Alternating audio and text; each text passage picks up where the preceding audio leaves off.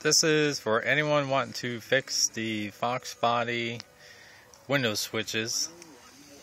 Uh, you get some of them that where the screw goes through to hold it to the plate is broken, which would be this one. Is broken right there. You push on the window, the switch sags down. You can either cut one of these out of another car uh, and then solder it into your car. Uh, this is for a 90. They have the plugs. the one that I'm using, this one, is out of a 93. It doesn't have plugs to where you can unplug it from the door and then switch it over.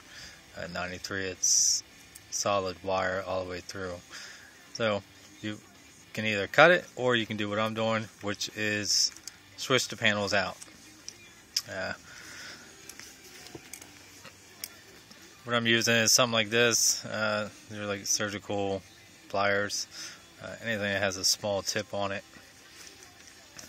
Someone put it together, so obviously somebody can take it apart.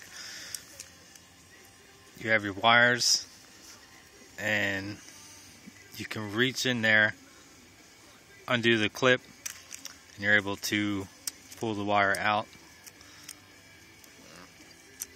You can see there's a little tab on the side. That's what locks it into place.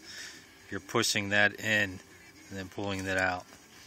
And then you can just move it over to your other panel, slide it into place, and then you got another one that doesn't that isn't broken. It is time consuming and you need to have both panels together in order to do it or a really good memory or a picture of it. So it's either just to start switching them over. And that's it.